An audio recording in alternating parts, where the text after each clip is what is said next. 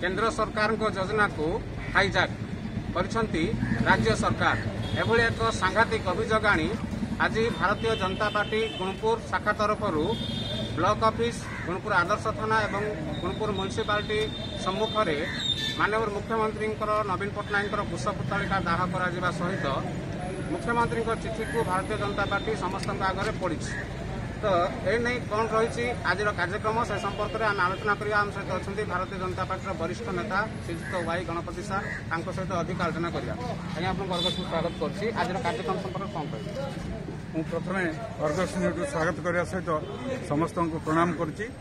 ଏଇ ଭାରତ ସରକାରଙ୍କ ଦ୍ୱାରା ଯେଉଁ ଯୋଜନା ପ୍ରସ୍ତୁତ ହୋଇଛି ପ୍ରଧାନମନ୍ତ୍ରୀ ଆବାସ ଯୋଜନା ତାକୁ ଆମର ମାନ୍ୟବର ମୁଖ୍ୟମନ୍ତ୍ରୀ ନବୀନ ପଟ୍ଟନାୟକ ବିଜୁ ପକ୍କା ଘର ବୋଲିକି ସେ ଷ୍ଟିକର ମାରିକିରି ସେ କହୁଛନ୍ତି ଆମେ ଏ ଘର ଗୁଡ଼ାକ ଦେଉଛୁ।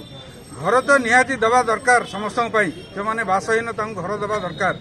ମାନ୍ୟ ନରେନ୍ଦ୍ର ମୋଦି ଆମର ପ୍ରଧାନମନ୍ତ୍ରୀ ସେ ଦୁଇ ହଜାର ବାଇଶ ସୁଦ୍ଧା ଯେଉଁମାନଙ୍କର ଘର ନାହିଁ ସେମାନଙ୍କୁ ଘର ଦେବା ପାଇଁ ପ୍ରଧାନମନ୍ତ୍ରୀ ଆବାସ ଯୋଜନାରେ ସମସ୍ତଙ୍କ ପାଇଁ ଘର ଦେବା ପାଇଁ ଯୋଜନା କରୁଛନ୍ତି। ଆଉ ସେଇ ଯୋଜନାରେ ସମସ୍ତଙ୍କୁ ଘର ମିଳିବା ଉଚିତ। ଆଉ ମିଳିବ ମଧ୍ୟ। ସେଇ ଘର ଟଙ୍କାକୁ ଘର ଦେଇ ନବୀନ ପଟ୍ଟନାୟକ ବାବୁ କହୁଛନ୍ତି ବିଜୁ ପକ୍କା ଘର ବୋଲି ଷ୍ଟିକର କରୁଛନ୍ତି। ଯାହା ପାଇଁ ଆଜି ଆମେ ରାଜରାସ୍ତାକୁ ଓହ୍ଲେଇଛୁ ଆଉ ଯୋଉଠି ଷ୍ଟିକରିଂ ହେଉଛି ସେଠି କାଢ଼ିକିରି ଆମେ ଚିରୁଛୁ। ଆଉ ନବୀନ ପଟ୍ଟନାୟକ ଯେଉଁ ଚିଠି ଦେଇଛନ୍ତି ସମସ୍ତଙ୍କ ଆଗରେ ସେଟାକୁ ଆମେ ଚିରି- ଚିରି ତାକୁ ଦାହ କଲୁ। ନବୀନ ପଟ୍ଟନାୟକ ନବୀନ ପଟ୍ଟନାୟକର କୁଶପୁତଳାକୁ ମଧ୍ୟ ଦାହ କଲୁ। ଧନ୍ୟବାଦ। ନିଶ୍ଚିତ ଭାବରେ ରାଜ୍ୟ ସରକାର ଏଭଳି ଚଞ୍ଚକତା କରି ଜନସାଧାରଣଙ୍କର ବିଶ୍ୱାସ ପାଦନ ପାଇଁ ଚେଷ୍ଟା କରୁଛନ୍ତି କିନ୍ତୁ ଜନସାଧାରଣଙ୍କ ନିକଟରେ ନିହାତି ବାସ୍ତବ କଥା ପହଞ୍ଚିବା ପାଇଁ ଭାରତୀୟ ଜନତା ପାର୍ଟିର ଅଭିନବ ପ୍ରୟାସ ଜାରି ରହିଛି। ଆମ ସହିତ ଅଛନ୍ତି ଜଗନ୍ନାଥପୁର ମଣ୍ଡଳ ସଭାପତି ପୃଥ୍ୱୀରାଜ ସାହା ତାଙ୍କ ସହିତ ଅଧିକ ଆଲୋଚନା କରିବା। ଆଜ୍ଞା ଆପଣଙ୍କୁ ଅର୍ଗସକୁ ସ୍ୱାଗତ କରୁଛି।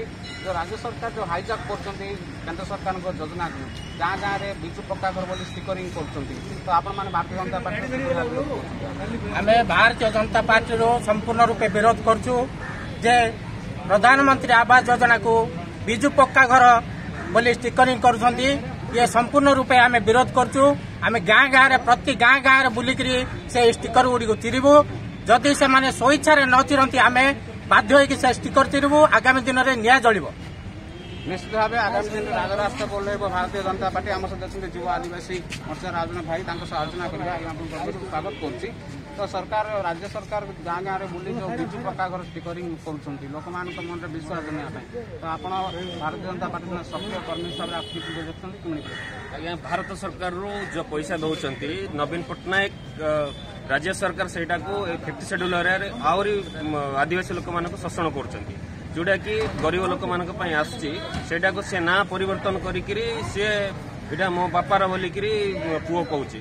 ମୋ ମୁଖ୍ୟମନ୍ତ୍ରୀ ଅଛି ବାପା ନାଁରେ ଯୋଜନା କରୁଛି ବାପା ନାଁରେ ଷ୍ଟିକର ଲଗାଉଛି ଭାରତ ସରକାରଙ୍କ ପଇସାକୁ। ଏହା ଗୋଟେ ନିନ୍ଦନୀୟ ବିଷୟ। ଆଉ ଆମ ଏଇ ଫିଫ୍ଟି ସେଡ୍ୟୁଲ ଏରିଆରେ ଆଦିବାସୀମାନଙ୍କୁ ବିଜୁ ପକ୍କା ଘର ନାଁରେ ଶୋଷଣ ବହୁତ କରାଯାଉଛି। ଏହା ଆଗାମୀ ଦିନରେ ଭାରତୀୟ ଜନତା ପାର୍ଟି ତରଫରୁ ଆଦୌ ଉଁ, ବରବାଦ କରାଯିବ ନାହିଁ। ନିଶ୍ଚିତ ଭାବରେ ଆଦିବାସୀ ଅଞ୍ଚଳରେ ରାଜ୍ୟ ସରକାର ଚଞ୍ଚକତା କରି କେନ୍ଦ୍ର ସରକାରଙ୍କର ଆବାସ ଯୋଜନାକୁ ବିଜୁ ପକ୍କା ଘର ନାମରେ ରୂପାନ୍ତରିତ କରିବା ପାଇଁ ଏକ ଅଘୋଷିତ ନିର୍ଦ୍ଦେଶନାମା ରାଜ୍ୟ ସରକାର ଜାରି କରିଛନ୍ତି ଯାହାଫଳରେ ରାଜ୍ୟ ସରକାର ଡିସେମ୍ବର ଏକତିରିଶ ସୁଦ୍ଧା ପ୍ରତି ଘରେ ଘରେ ବିଜୁ ପକ୍କା ଘର ଷ୍ଟିକରିଂ ଲଗାଇବା ପାଇଁ ଲୁଚି ଛପି ଯାଉଛନ୍ତି ଏବଂ ଭାରତୀୟ ଜନତା ପାର୍ଟି ତରଫରୁ ଯେଉଁଠାରେ ଏଭଳି କାର୍ଯ୍ୟକ୍ରମ ଦେଖାଯାଉଛି ତାକୁ ବିରୋଧ କରାଯାଉଛି।